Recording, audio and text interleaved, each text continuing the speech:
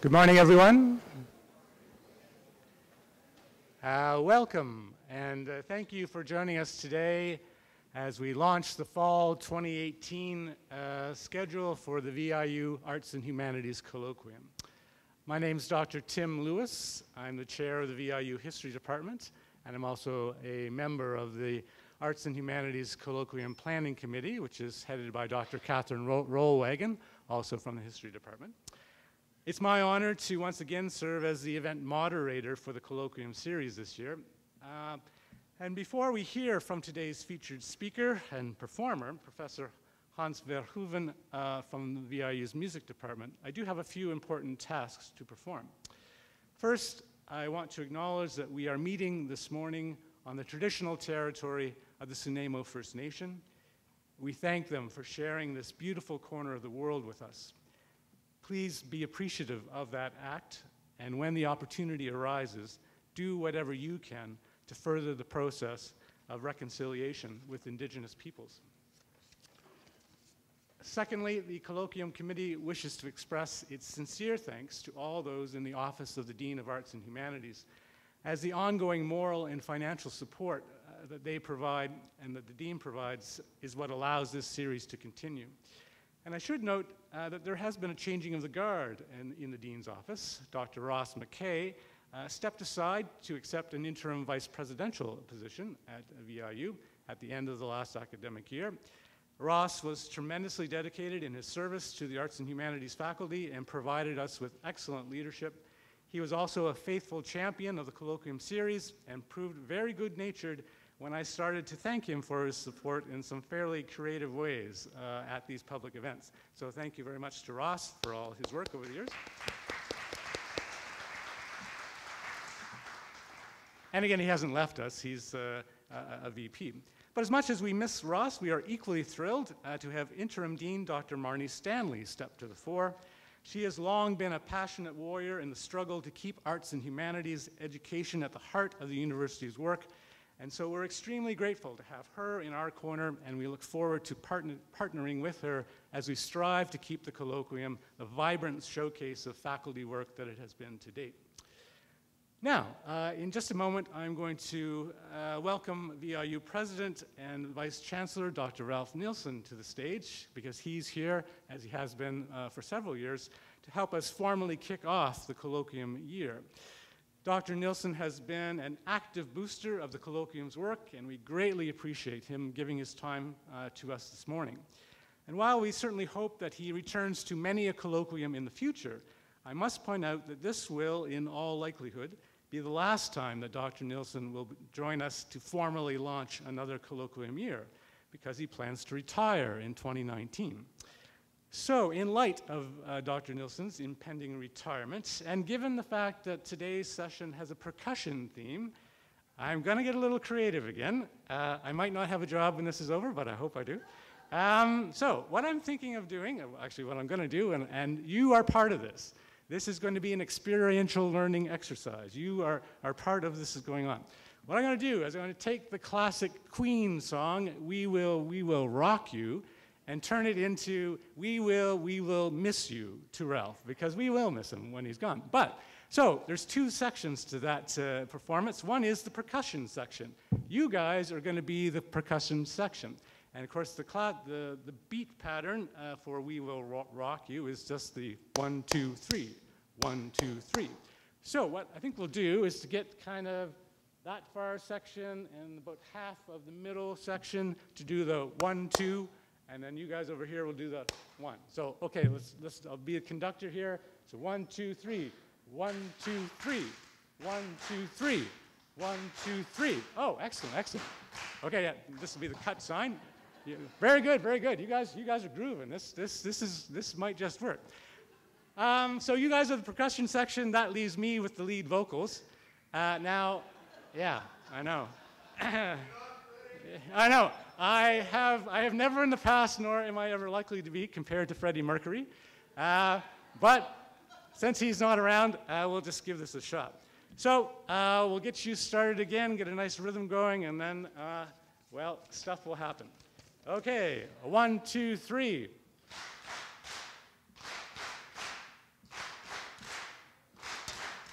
Ralphie is a man, has a jolly good plan to promote the university. He supports all our work, leads like Captain Kirk, gives us all the help that he can. So we will, we will miss you. We will, we will miss you.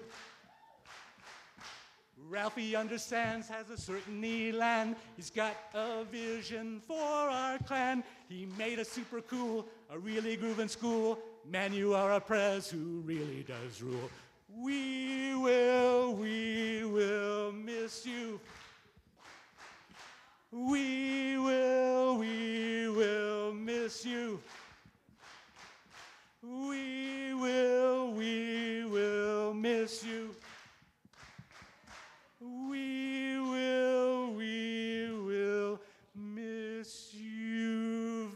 Champion, my friend. Cause you've kept on fighting to the end.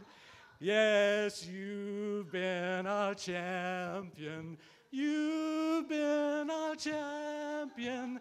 No time for snoozing, cause you've been our champion. To the end, our presidential friend. So from our hearts we do send well wishes without end.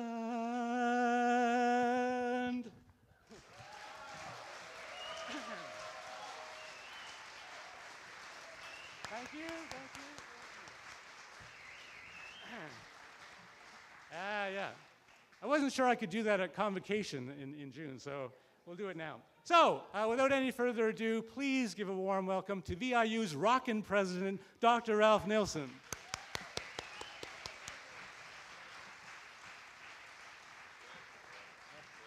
Thank you. Well, thank you very much, Tim. I've, I've never received an introduction like that. and I have to say, I, I liked it, even though Tim, I'm sure, isn't part of the choral group, but uh, it's, a, it's an absolutely wonderful, uh, a, a, wonderful treat. And it's always an honor to be here uh, at the opening of the uh, Arts and Humanities Colloquium. For me, uh, this is the um, demonstration of what a university should be, a place where we get together and have conversations about topics that are important to all of us, that help us think creatively, that challenge us in the way that we think, and indeed we welcome the community in to be a part of these kind of dialogues. So I want to thank uh, Ross, I want to thank Marnie, and I want to thank all the faculty from the Arts and Humanities, the, the, the colloquium committee, I know Catherine's responsible for that this year, Tim, everybody else that's been involved in this over the last 10 years thank you for all you've done to help stimulate this community and give us the opportunities to get together and think and talk and challenge us in, in ways that uh, all of us need to be challenged. So thank you to each and every one of you.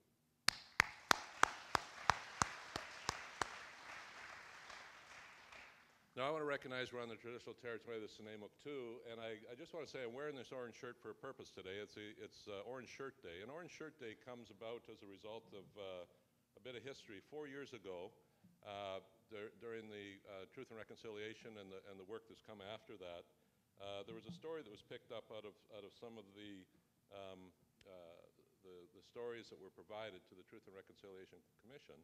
And one of them was about a, a, a young girl named Phyllis up, at, uh, up in Williams Lake. And uh, the challenge was she, her first day at residential school, and this is the time, they have it this time of year because this is the time of the year the kids will be taken to the residential schools.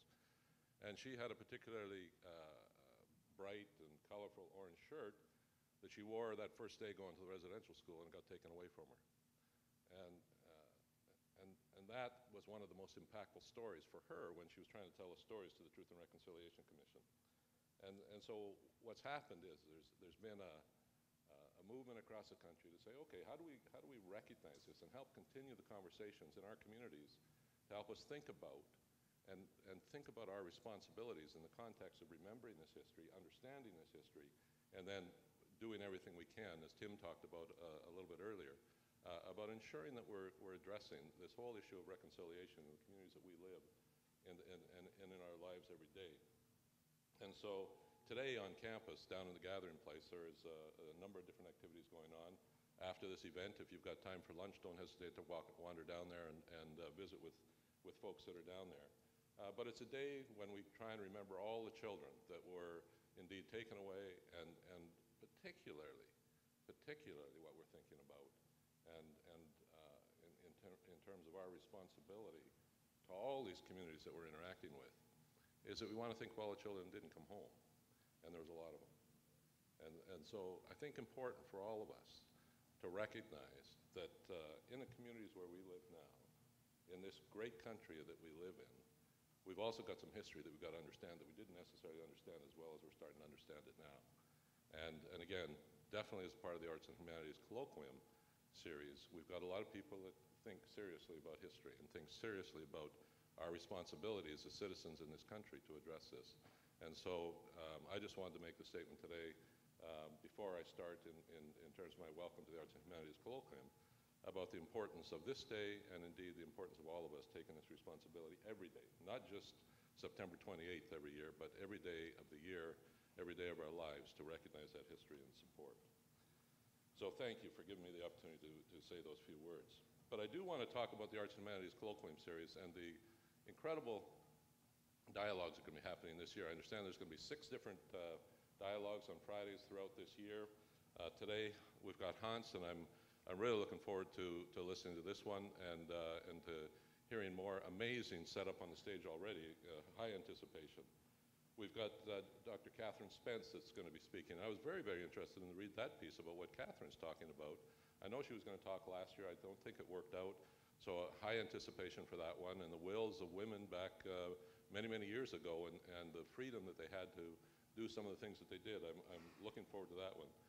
Eliza Gardner from our theater department, and Eliza talking about the work that she did last year down at, excuse me, Williams Head. And I had the, I had the distinct honor and pleasure of going down and, and, uh, and seeing that play and then staying afterwards and interacting with the inmates who were involved in that incredible uh, bit of work. Uh, I can only imagine the experience of being there and working with the inmates and, and helping develop that. So I think we're all going to learn, learn an awful lot about the importance of the boundary spanning that goes on at this institution and the opportunities that we have to engage with populations and what we can learn from, from those populations. Um, then we've got Justin McGrail. And Justin, I'm, always uh, amazed by his presentations and the, and the opportunities that he brings to us to think and, uh, and to challenge us. He's been so supportive of all the work that we've done in the gallery, and I, I, I look forward to Justin's work.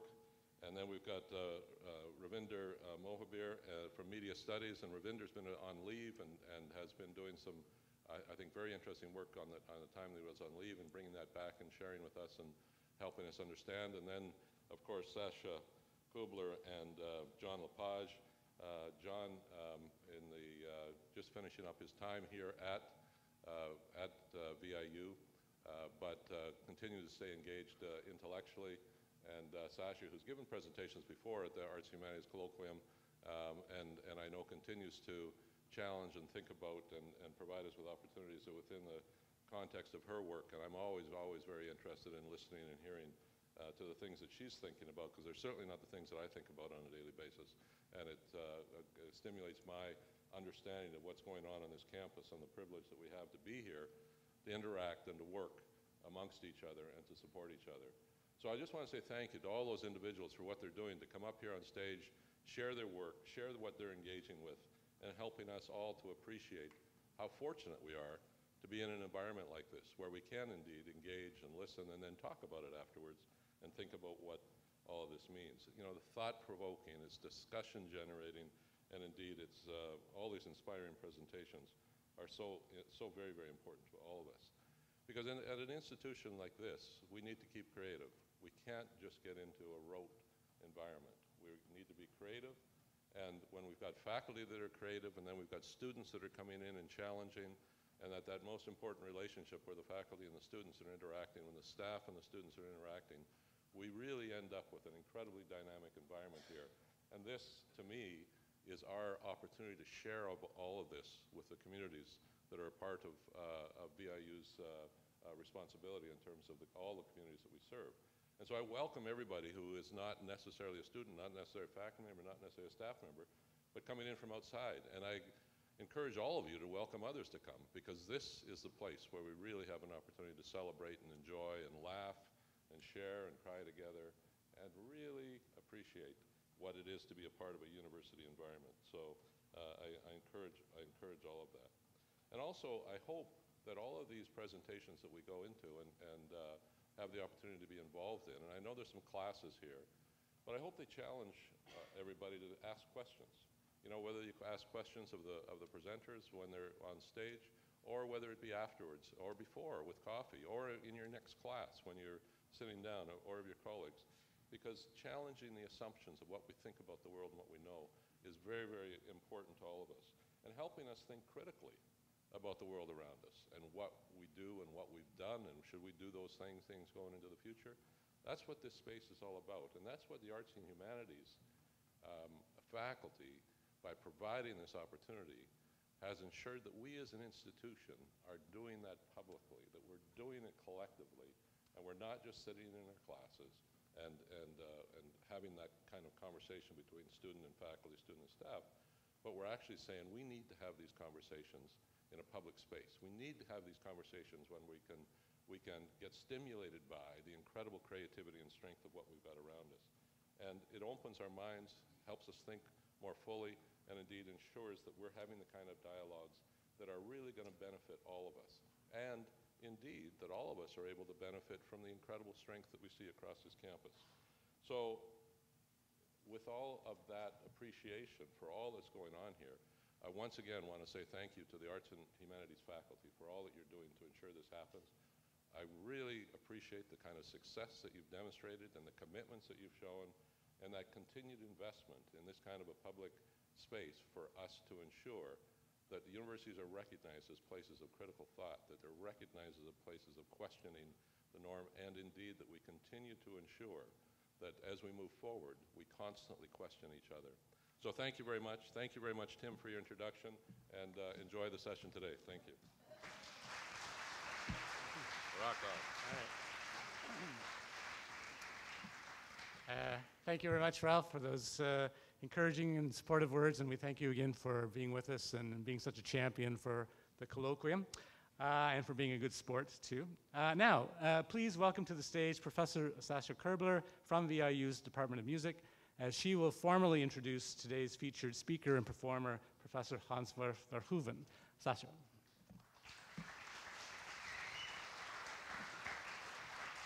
Thank you. Thank you, Tim, and good morning. Hans Verhoeven joined our music department as a private music instructor six years ago, and he did that unnoticeably and quietly, something so unlikely for a drum and percussion player. I think that an entire year or so went by before I, I became aware of his presence. At first, there was a noticeable change in the quality of, of, of our students' performance, then Hans approached me to work on a study of some music with him, and then finally I heard him play. And it was one of those, Sasha, where have you been moments? How could I not know that there was a virtuoso in our department? As you will be able to hear for yourself today, Hans is a musician of extraordinary technical skill and accomplishment, and we are extremely lucky to have him in our music department. Thank you. Hans grew up in the Kootenay, uh, Kootenay Lake area where his involvement with music started in a school band, playing a baritone horn. Everything changed when his father brought home a drum kit. Hans picked up the snare and marched his way into his first and very successful school performance. Then, via Humber College to McGill's jazz program, all the way through to University of Victoria's graduate school. Beside his Masters of Music in Orchestral Performance degree, there are a few awards such as Zildjian's Outstanding Combo Drummer of the Year from 18 years ago already, as well as posters from numerous tours and concert performances with top jazz music musicians such as Grammy Award-winning Oscar Stagnaro, Juno Award-winning PJ Perry and Christine Jensen, as well as Phil and Ben Dwyer, to mention just a few. Hans's choice of music alone for today's presentation speaks to the level of his achievement as a performer, as well as his extraordinary technical skill. Rebond, written by Greek but then French composer Iannis Xenakis, was premiered exactly 30 years ago by the French percussion virtuoso Sylvio Gualda, who was 49 at the time, and played percussions as if there were two of him on stage, joined right here at the hip. Xenakis, when interviewed by the CBC radio program Two New Hours about composing Rebond, admitted that although he wrote it for Gualda, he did not keep his abilities and limitations in mind. He said, Virtuosity is just part of the music. I have to write the music that is integral to my own concerns. But usually, the performers who approach me are very skillful and technically able, so I don't really have to worry if they will be able to play something or not. I'm sure that they're going to do it properly after a while.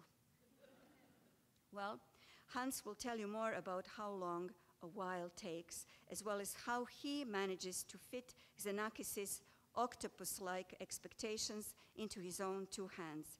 May I ask you to please welcome our virtuoso, Hans Verhoeven.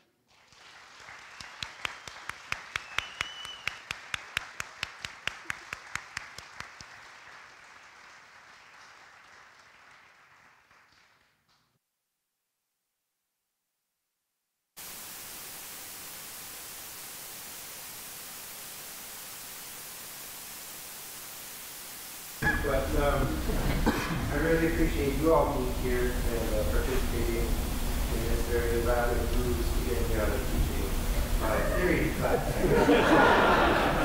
Thanks.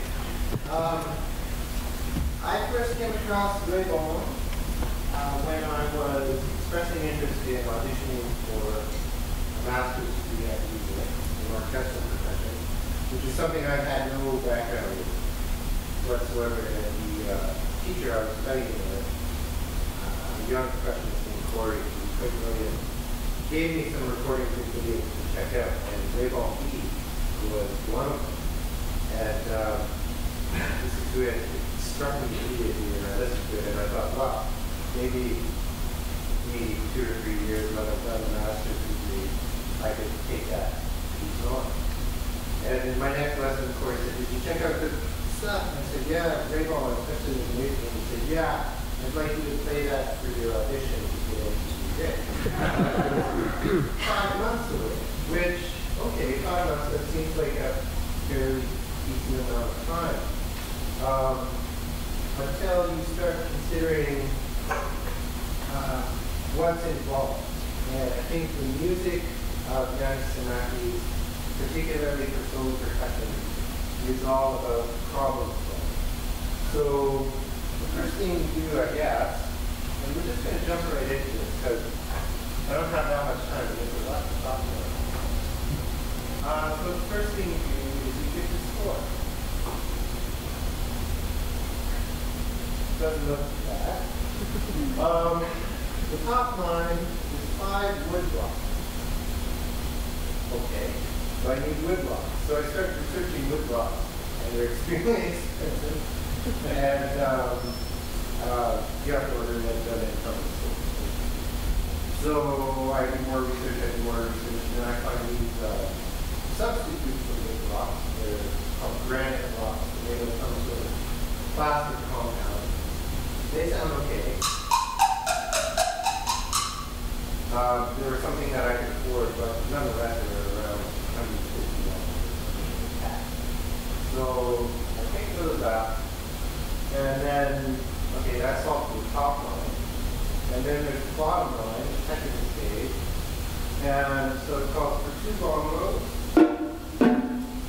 uh, tumba, which is a large conga drum from tuba, uh, a low tom, and a grosse caisse. Okay, so I, I had congas already.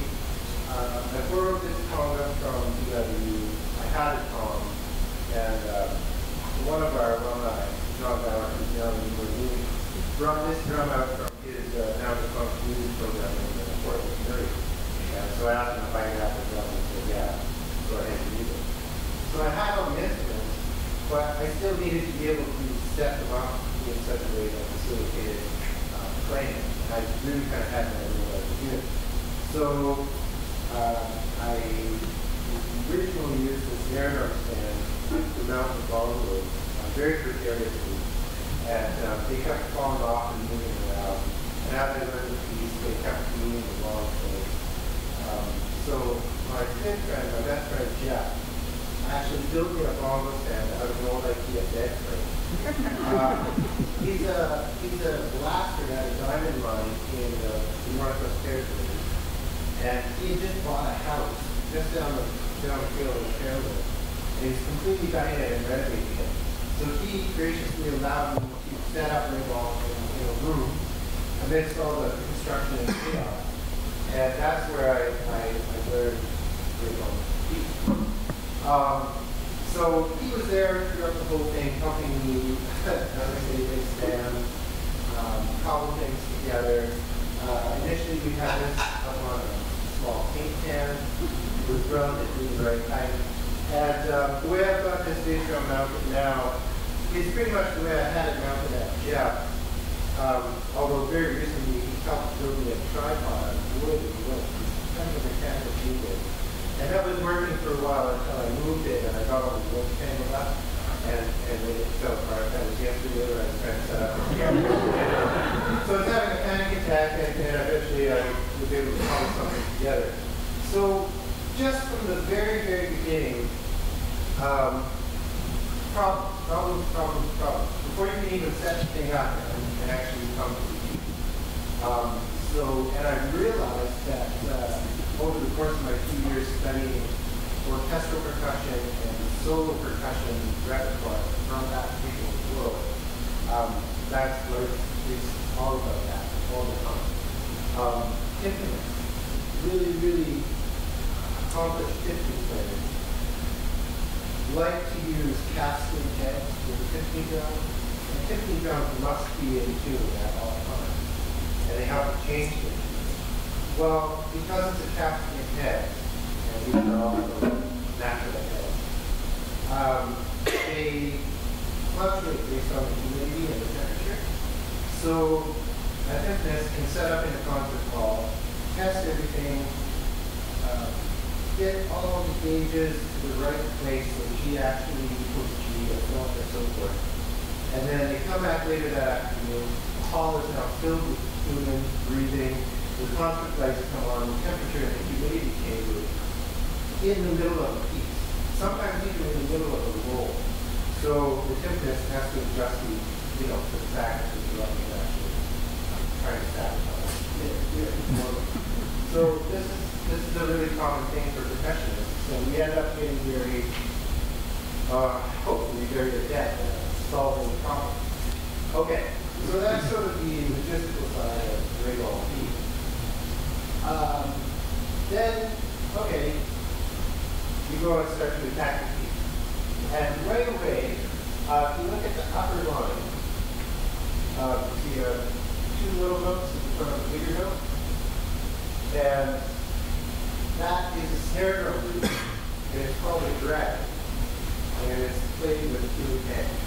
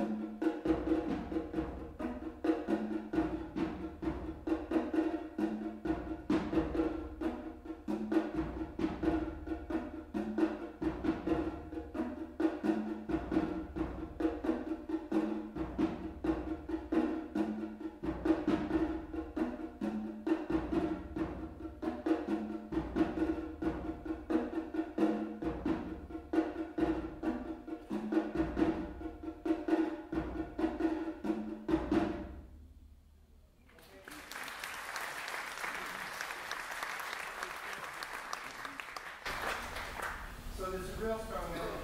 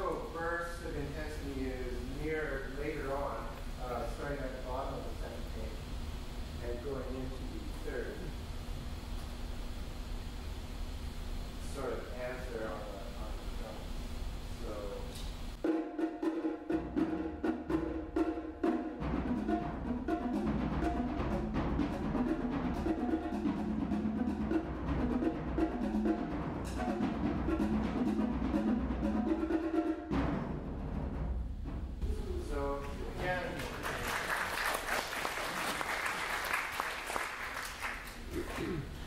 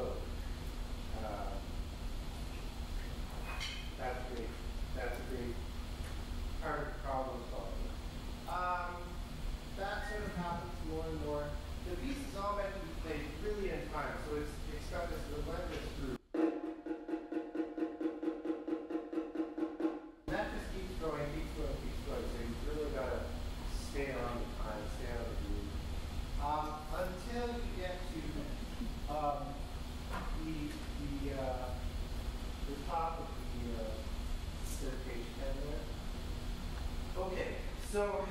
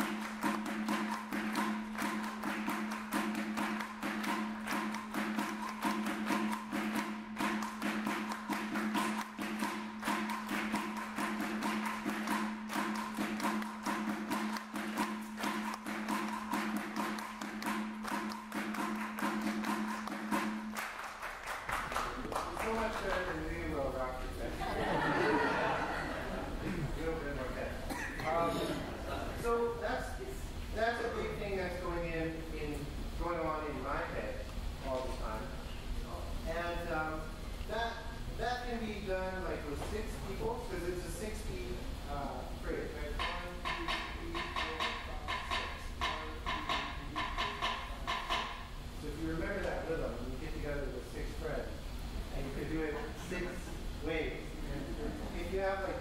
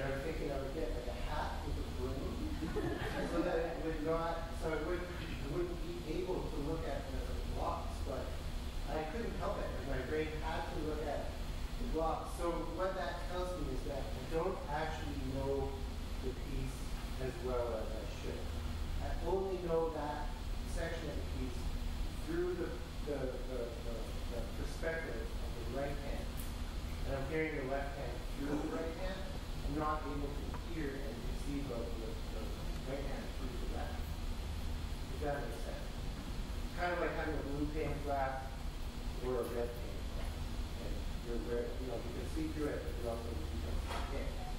Um, so that's what's going on in Rainbow B. Now, um, shifting to Rainbow A, um,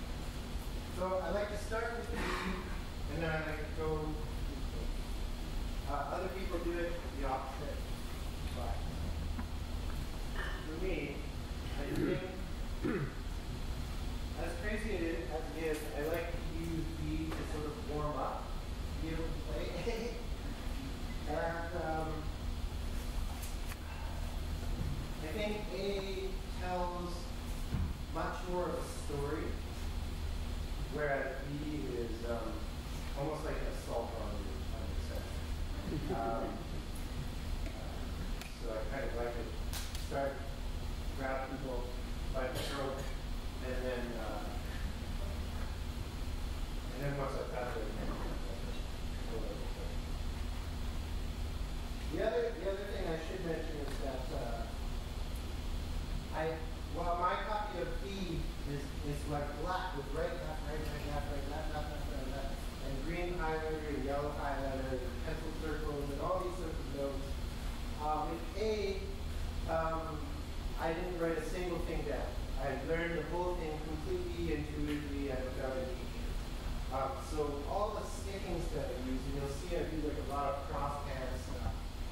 was was almost all of it was done without me